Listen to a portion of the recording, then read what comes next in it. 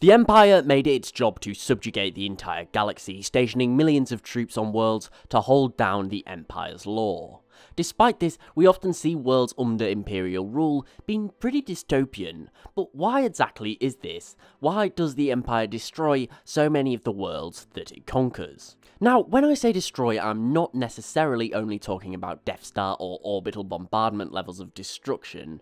I'm also talking about things such as infrastructure. What I'm basically saying is that once Imperial jurisdiction begins on a world, it slowly begins to decline in many ways, chiefly economically, becoming poorer and poorer, leading to a poor living conditions for the people who live there. Now, the first thing we need to actually look at is the real damage, and this is the Imperial's use of force in nearly every single situation.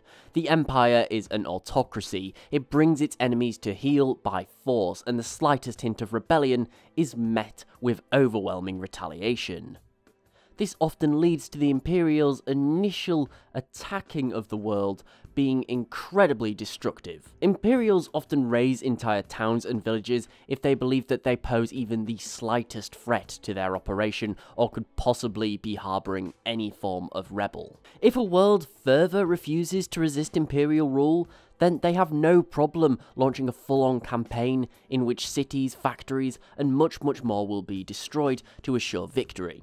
When the Empire commits to a war, it commits total war. It has very, very few rules of engagement. So basically, if in like in many situations if your world does not willingly join the empire you know for a fact it's going to take a lot of damage when the imperials take it by force once the world is taken, you need to remember the fact that Imperials place security above everything else, and this has a very big knock-on effect.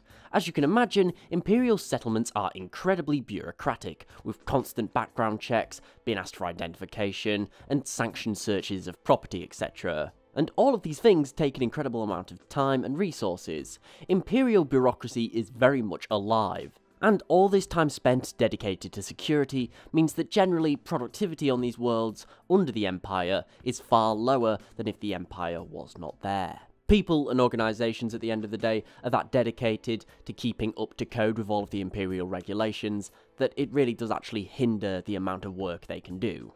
This entire sentiment is continued when we consider the Empire's anti-alien rhetoric. Humans are put in positions of power constantly in the Empire, despite in many cases being lesser equipped to deal with the task at hand than say an alien could be. For this reason, when we look at someone, say, a planetary governor, or a factory foreman, or really just anybody in a position of power, they are nearly always human. And they're given these positions simply because they are human, not due to their actual experience. So something that you'll find in the Empire a lot of the time is people who are underqualified to do a job being given the job simply because of the species that they are. And as we've discussed many times before, there's a lot of disadvantages to having a human running an alien world. The final and possibly most important point to make is that the Empire really does smother its territories. It's a very centralised organisation. This means that all of its power comes from one place, Palpatine. He controls everything from the core world of Coruscant. Having such a centralised government means that everything has to run through him and his organisation. Distribution of power is not given to the planets themselves it's given to a few individuals who are also represented in the core who are completely loyal to Palpatine. So worlds aren't seen as independent territories, they are basically just used as fodder to generate resources and wealth for the Empire as a whole. For this reason, when it comes to the distribution of wealth in the Empire, it's strictly a very one-way process, with the Empire reaping the bounties of its territories and giving very, very little in return. All the Empire really offers its territories is security, and I use the word security lightly because it's more of a tyrannical police state that it gives them. Essentially, the Empire extracts resources from worlds, food, spice, metals, etc., and it does so at the lowest cost possible because the territory is technically owned by them. They literally control the entire government and most of the market, so they get what they want and they do it incredibly cheaply. They then use all of these looted materials to build up, say, their war machine.